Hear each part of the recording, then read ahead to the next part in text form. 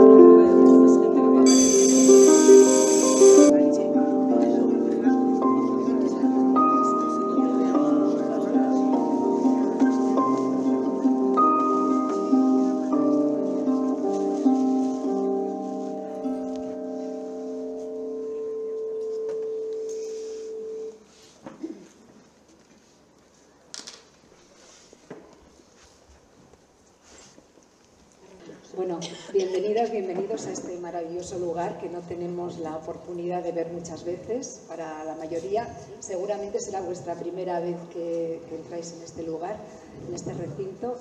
Y bueno, dar las gracias a Sor Carmela, a toda la congregación que la tenemos. Eh, ellas están escuchándonos desde la ventana. Y bueno, hoy tenemos eh, la fortuna de tener con nosotros a Noni Venegas. Noni Venegas no es la primera vez que está en Poetas en Mayo, esta será ya su segunda vez. Sí. ¿Y qué, qué decir de Noni Venegas? Bueno, pues que es una poeta con letras mayúsculas, porque además, además de ser poeta, bueno, es ensayista, eh, es una mujer sabia. su vida es, ahora nos lo va a contar, investigar. Cuéntanos eh, ¿Cuántos, para empezar, porque en vez de leer yo los, todos los premios que he recibido, ¿nos puedes decir algunos premios? Bueno, empezar por los premios es un poco vanidoso y puede dar una idea falsa. Eh, los que son grandes son los poetas cuyos premios yo gané. El Rubén Darío de la ciudad de Palma, el Miguel Hernández de Orihuela, el Esquío de Galicia, el Vila de Martorell, eh, el platero de las Naciones Unidas en Ginebra para la lengua española y alguna otra cosita más. Eso quiere decir que es una larga vida. y como ensayista, eh, la, última vez que viniste a Victoria, viniste a presentar uno de tus libros más queridos. Cuéntanos. Bueno, hace 20 años me propuso un editor de Madrid muy interesante, la colección Hiperión, que si me atrevía a hacer una selección de las poetas españolas contemporáneas en activo.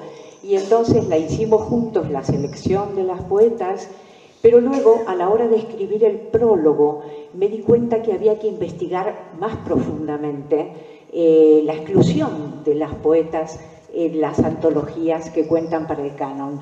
Y escribí un prólogo que se transformó en un estudio de 80 páginas. Se llama Ellas tienen la palabra la antología. La antología tuvo mucha fortuna, ha sido reeditada cuatro veces y la quinta, hace poco tiempo, por Fondo de Cultura Económica, eh, la editorial eh, Señera de la Lengua, y realmente eh, ha habido eventos que han tomado el nombre de esa antología. El festival Ellas Crean de Madrid sale de Ellas Tienen la Palabra. ¿Y por qué Santa Teresa?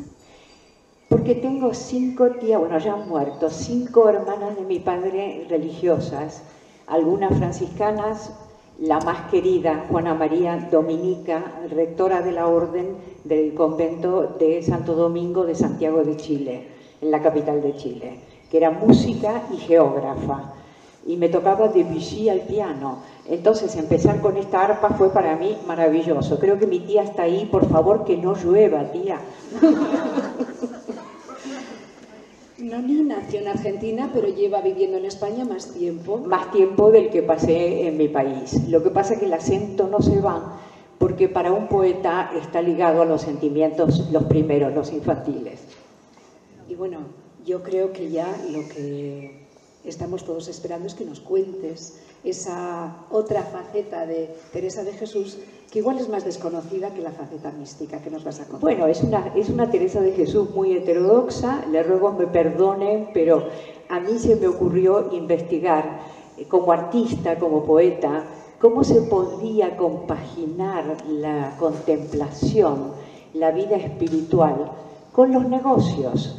Porque el problema de todos los artistas, y más que nada de los músicos y poetas, es de qué vamos a vivir eh, a ver, el intríngulis de Santa Teresa, que ella lo resolvió, me pareció un desafío sumamente interesante y de mi lectura de los textos de ella y de otras exégesis que se han hecho, yo he elaborado una pequeña línea que nos va a conducir eh, desde la contemplación hasta las fundaciones.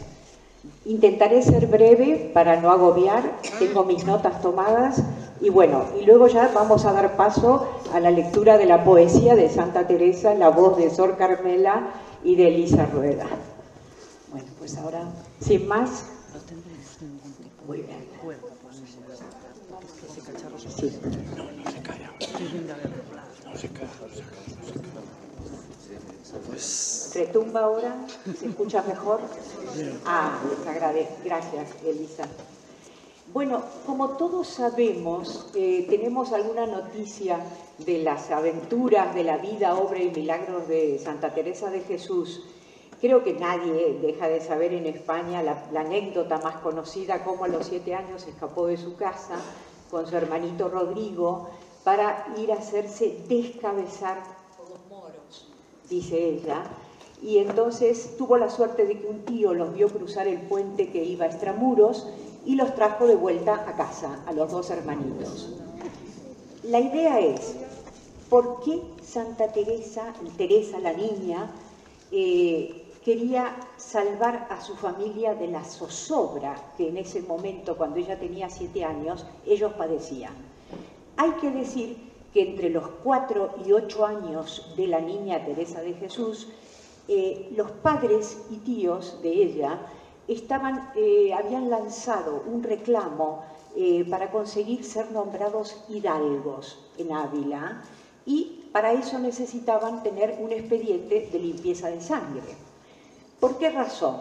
Porque el abuelo de Teresa había sido condenado antes de que ella naciera, muchos años antes, en Toledo, porque era un mercader judío muy prestigioso, heredero de un gran linaje de mercaderes. Los bisabuelos de Teresa eran riquísimos en Toledo y había sido delatado y obligado a portar el San Benito durante siete viernes por la capital.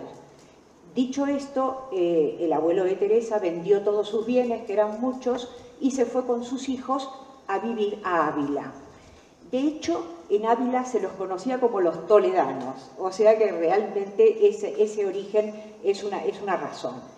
Eh, entonces, entre los cuatro y ocho años de ella, la familia estaba estresada por el litigio que mantenían para conseguir ese expediente que les iba a nombrar hidalgos y les iba a ahorrar el pago de impuestos dentro de Ávila.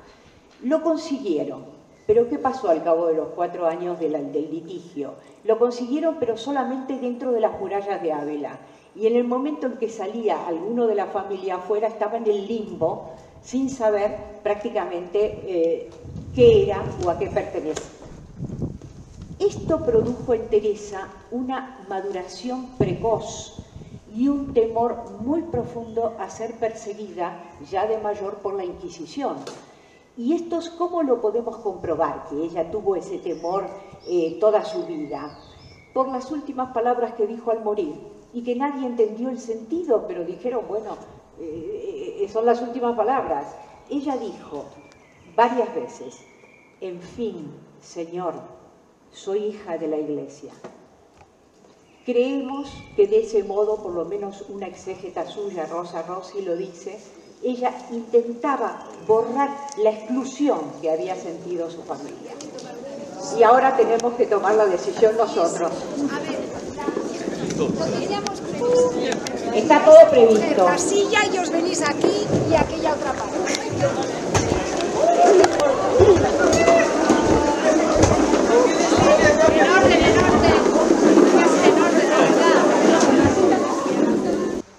A ver entonces y aquí también se oye, vale.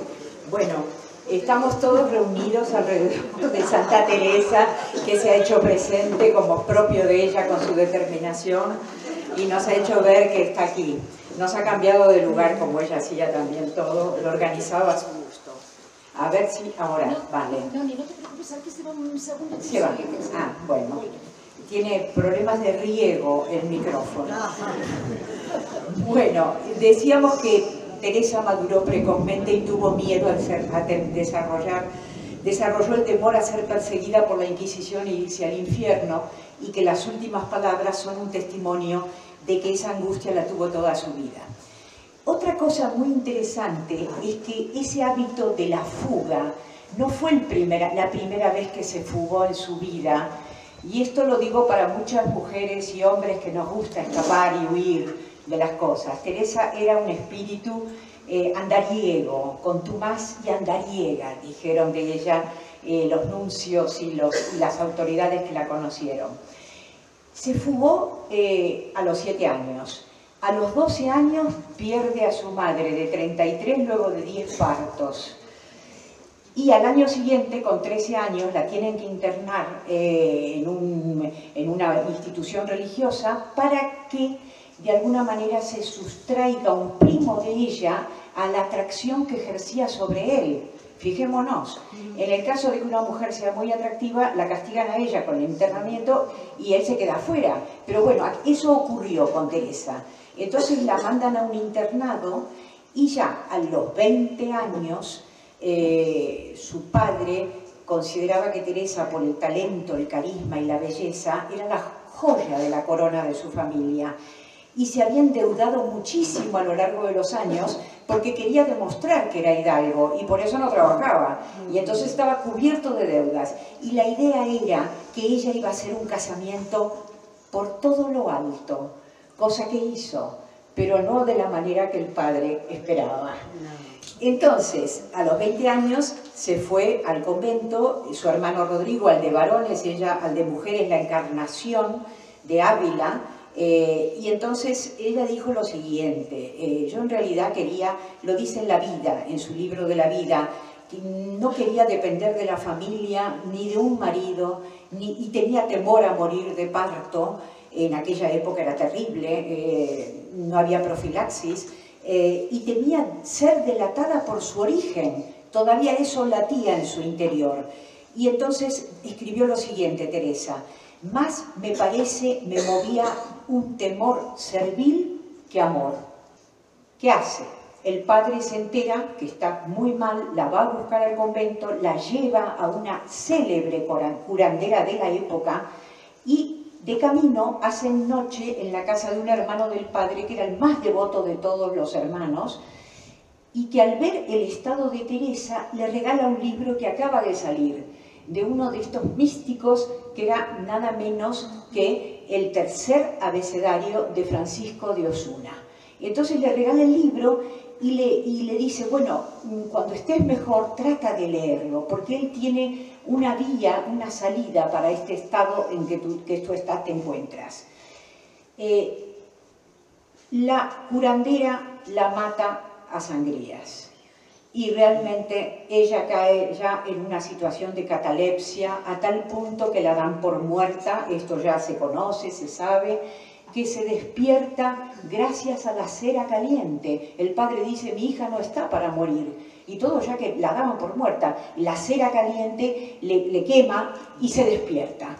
Y entonces ya a partir de ahí tardó muchos años eh, en recuperarse de esa parálisis y tuvo que volver a andar, a, aprender a andar, a caminar.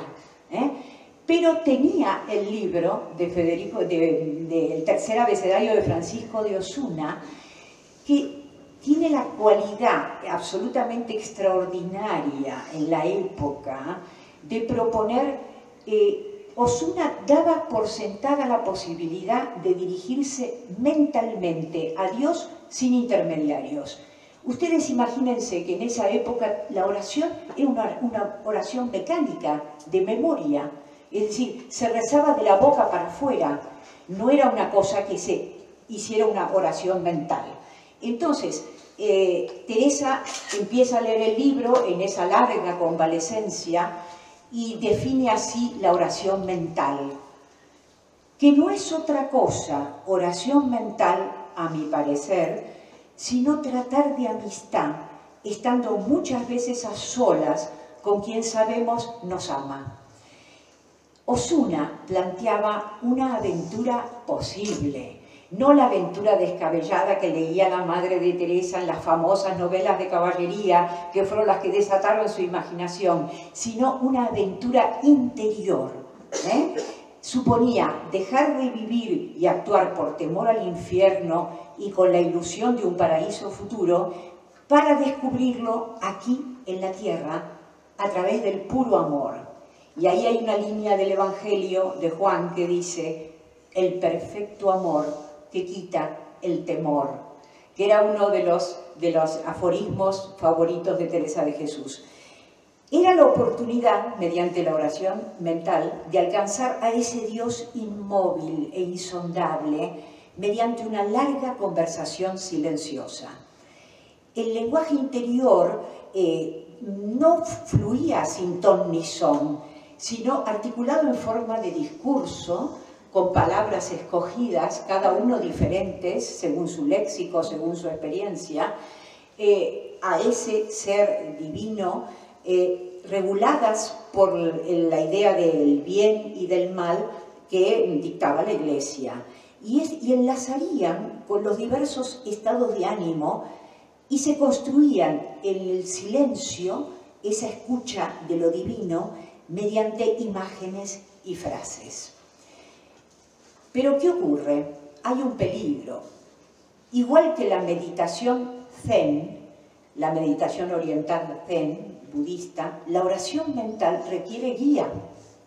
¿Por qué? Porque se suceden los éxtasis, los arrebatos, en algunas ocasiones la gente cree ver que las personas levitan y a Teresa le pasaban unas cosas como muy aparatosas. Y era un siglo muy terrible, porque en ese momento estaban quemando a los alumbrados, a todos ellos que también tenían ese tipo de, de cosas que hacían, y entonces ella quería un confesor que la entendiera.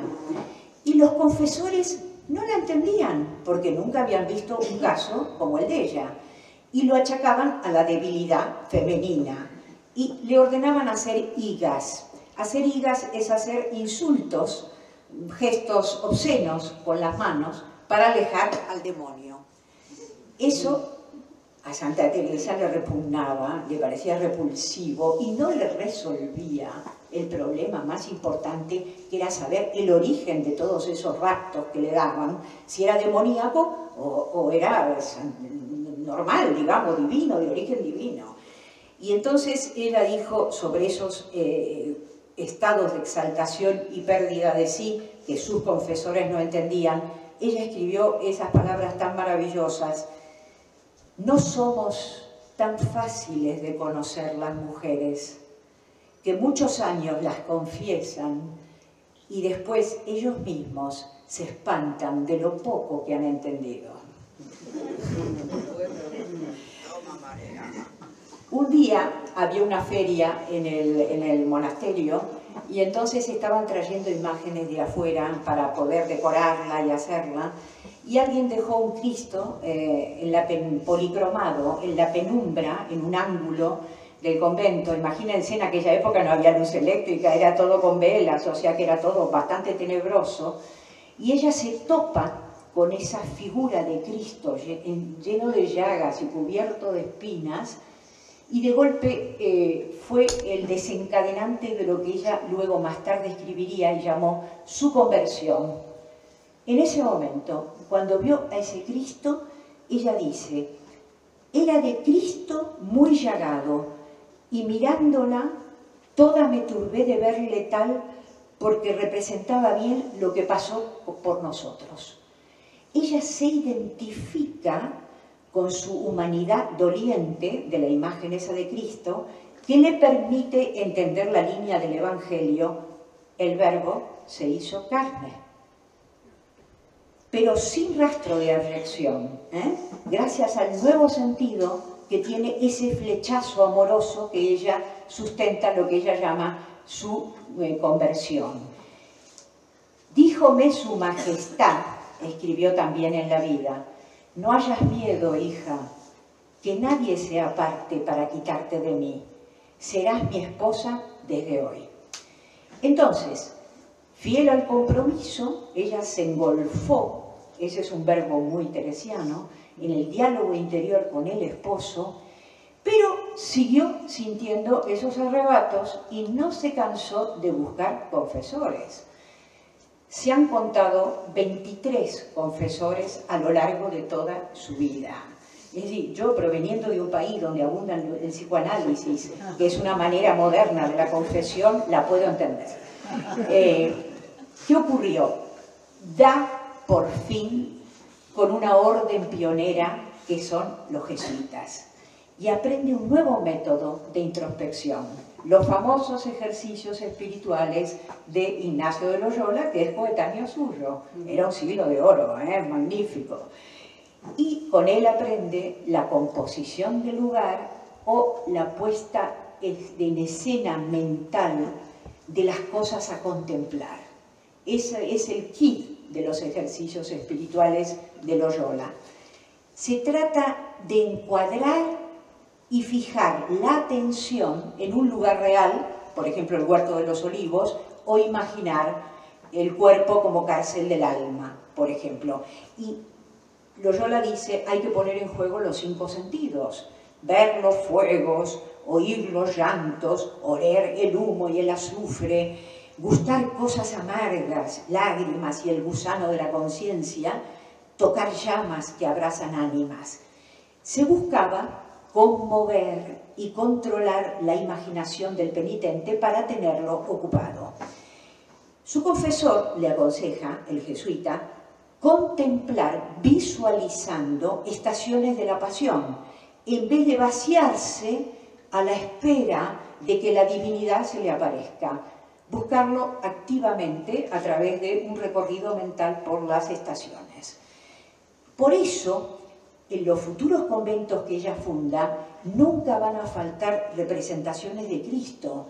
Y ella le dice a sus hermanas en camino de perfección, procurad traer una imagen o retrato de este Señor que sea a vuestro gusto, no para traerle en el seno y nunca mirarle, sino para hablar muchas veces con Él, que Él os dará qué decir. No obstante, seguía un poco todo el cuadro clínico de arrebatos y de éxtasis y ya las compañeras del convento estaban un poco cansadas de todo ese tema. Y el confesor le arregla una cita con el segundo de a bordo de Ignacio de Loyola, que en ese momento saben que va a venir a Ávila, nada menos que Francisco de, Borja, que sería también santificado junto con ella. Y entonces ella tiene un encuentro con Francisco de Borja. Hay que decir que mantuvieron una correspondencia durante 18 años, hoy perdida, ¿eh? que la convence de no resistirse más a esa revelación de claro origen divino que él reconoce que ella tiene. Él mismo, le confiesa, dejó, deseó dejar la vida para unirse cuanto antes a Cristo, ¿eh? pero hizo suya una línea del Evangelio que dice, es mucho más importante que continúe viviendo. Y Teresa, luego, ¿qué hace con esa línea? La pone en verso. Vivo sin vivir en mí, y tan alta vida espero que muero porque no muero. el último año de su vida, ella fue a fundar a Burgos.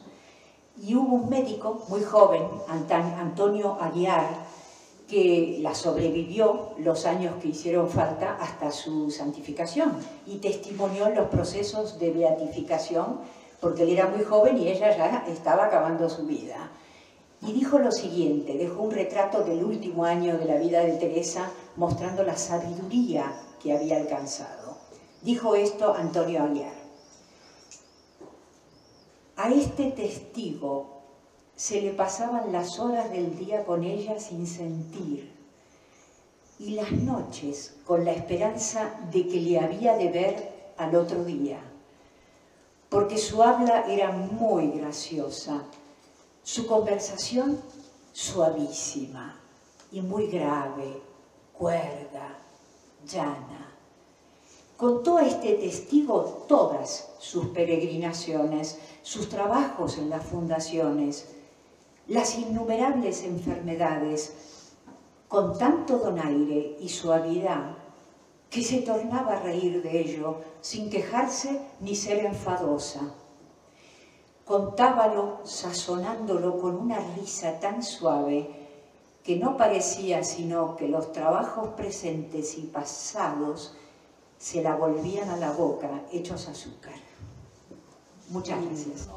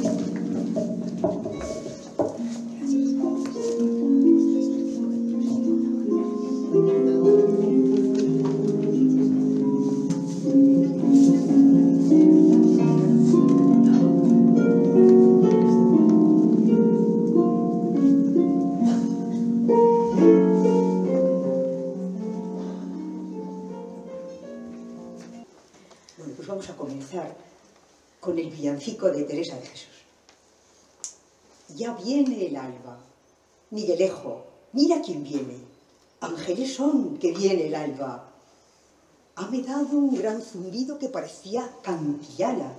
Mira, Brás, que ya es de día. Vamos a ver la zagala. Miguelejo, mira quién viene. Ángeles son, que ya viene el alba. ¿Es parienta del alcalde o quién es esta doncella? Ella es hija de Dios Padre, redumbra como una estrella. Miguelejo, mira quién viene. Ángeles son, que ya viene el alba. Y ahora sigue el verdadero recital de Teresa Jesús.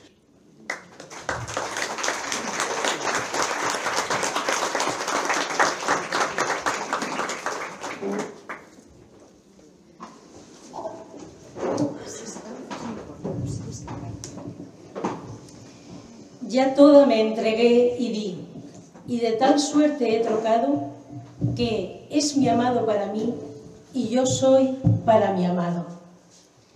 Cuando el dulce cazador me tiró y dejó rendida, en los brazos del amor mi alma quedó rendida. Y cobrando nueva vida, de tal manera he trocado que es mi amado para mí y yo soy para mi amado. Hirióme con una flecha enherbolada de amor y mi alma quedó hecha una con su Criador. Ya yo no quiero otro amor, pues a mi Dios me he entregado. Y mi amado es para mí y yo soy para mi amado.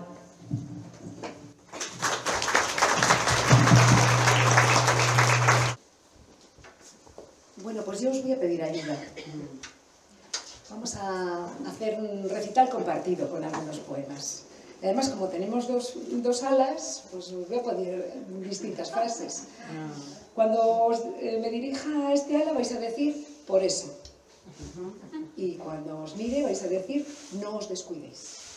¿Entendido? ¿Probamos? Por eso. No os descuidéis. Así lo unimos un poco más. Por eso. No os descuidéis. Hermana, porque veléis os han dado hoy este velo, y no os va menos que el cielo. Por eso no os descuidéis. Aquí este velo gracioso os dice que estéis en vela, guardando la centinela hasta que venga el esposo, que como ladrón famoso vendrá cuando no penséis. Por eso No sabe nadie a cuál hora, si en la vigilia primera o en la segunda o en la tercera, todo cristiano lo ignora. Pues habrá que abrir la puerta. Bueno, eh, nos llega una de las poetas invitadas, es eh, Elisabetta Bagli, que viene de Italia, es italiana y bueno, pues tenemos también, ya de paso digo, Chitrum, que es un poeta vietnamita que está entre el público y bueno, ella acaba de llegar, bienvenida. Así que le- les podemos... No, estás expulsada. De paso hago propaganda, ellos estarán mañana a las 7 de la tarde en el Palacio de Villasuso. Está todo encaja. Bueno, seguimos a lo nuestro. Porque estábamos con el timbre. No sabe nadie a cuál, a cuál hora, si en la vigilia primera o en la segunda o tercera, todo cristiano lo ignora. Pues velad, velad hermana, no os roben lo que tenéis. Por eso En vuestra mano encendida tened siempre una candela y estad con el velo en vela, las sienes muy bien ceñidas. No estéis siempre amodorrida, cantad que peligraréis. Por eso Tened óleo en la aceitera de obras y merecer para poder proveer la lámpara que no se muera, porque quedaréis de fuera si entonces no lo tenéis. Por eso Nadie os lo dará prestado, y si lo vais a comprar, os podríais retardar. Y el esposo haber entrado, y desde que una vez cerrado, no hay entrar, aunque llaméis. Por eso Tened continuo cuidado de cumplir con alma fuerte, hasta el día de la muerte, lo que habéis hoy profesado, porque habiendo así velado, con el, con el esposo entraréis. Por eso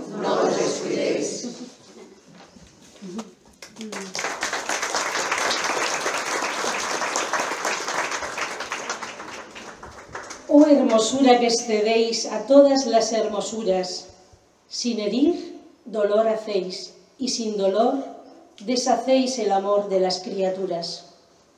Oh nudo que así juntáis dos cosas tan desiguales. No sé por qué os desatáis, pues atado fuerza dais a tener por bien los males. Juntáis quien no tiene ser con el ser que no se acaba. Sin acabar, acabáis.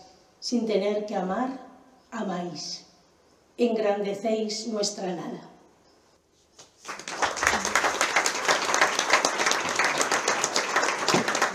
Bueno, pues ahora cambiamos. Los que estáis aquí vais a decir, mírale Gil. Gil, Gil un nombre, ¿no? Mírale Gil. ¿Qué te está llamando? ¿Probamos? que te está llamando. Y al Gil igual lo ponemos un poco más arriba. Mírale Gil. Que te está llamando. Así es. Oso uno. Es un villancico. Sangre a la tierra. Este, este niño viene. ay, este niño viene llorando. Que te está llamando. Vino del cielo a la tierra para quitar nuestra guerra. Ya comienza la pelea. Su sangre está derramando. Que te está llamando. Fue tan grande el amorío que no es mucho estar llorando, que comienza a tener brío, habiendo de estar mandando. Que te está llamando. Caro nos ha de costar, pues comienza tan temprano a su sangre derramar. Habremos de estar llorando. Que te está llamando. No viniera él a morir, pues podía estarse en su nido. ¿No ves, Gil, que si ha venido es como león bramando? Que te está llamando. Dime, Pascual, ¿qué me quieres que tantos gritos me das? Que le ames, pues te quiere y por ti está tiritando. Que te está llamando. Osondo.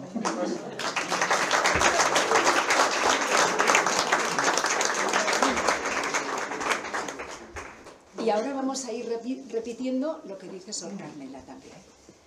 Nada te turbe, Nada te turbe. Nada te espante. Nada te espante. Todo se pasa. Todo se pasa. Dios no se muda. Dios no se muda. La paciencia todo lo alcanza. La paciencia todo lo alcanza. Quien a Dios tiene, Quien a Dios tiene, nada le falta. nada le falta. Solo Dios basta. Solo Dios basta.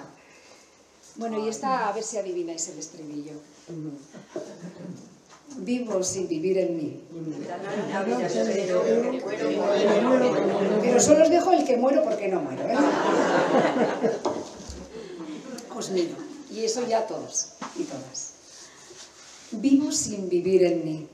Y tan alta vida espero. Que muero porque no muero. Vivo ya fuera de mí. Después que muero de amor. Porque vivo en el Señor que me quiso para sí. Cuando el corazón le di, puso en él este letrero.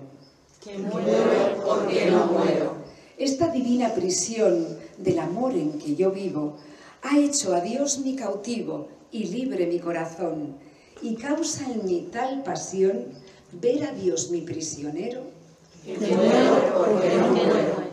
Ay, qué larga es esta vida, qué duros estos destierros, esta cárcel, estos hierros en que el alma está metida.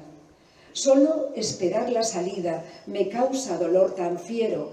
Que muero. Ay, qué vida tan amarga, no se goza el Señor.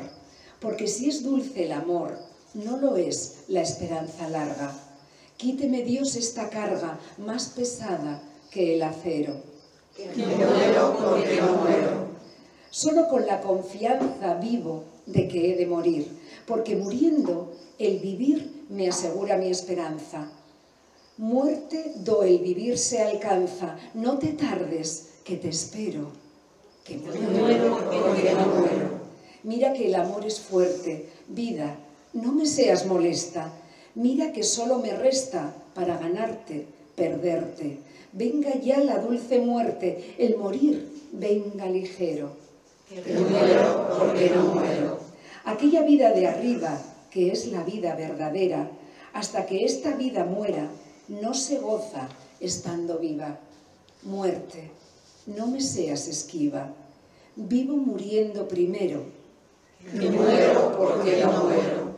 Vida, ¿qué puedo yo darle a mi Dios que vive en mí, si no es el perderte a ti para merecer ganarle? Quiero muriendo alcanzarle, pues tanto a mi amado quiero. Que muero porque no muero. Bueno, soy.